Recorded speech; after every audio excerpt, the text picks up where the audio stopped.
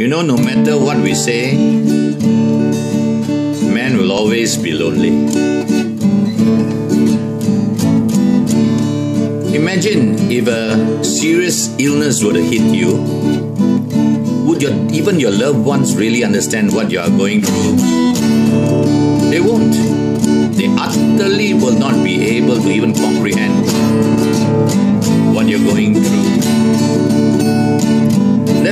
That's why always that seeding emptiness there. You know, listen to these words. Hear that lonesome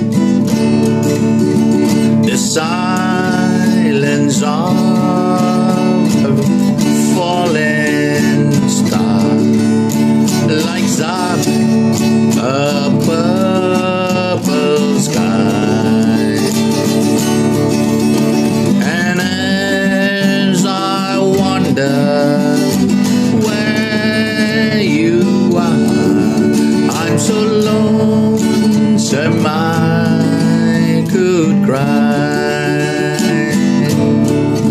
I'm so lonesome I could cry.